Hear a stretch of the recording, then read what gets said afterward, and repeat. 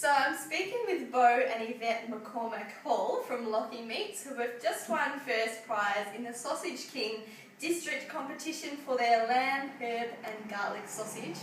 Tell us a little bit about uh, what makes this sausage so great. Lots of love. We made it with lots of love, um, and a few produce, secret herbs and spices. Fantastic.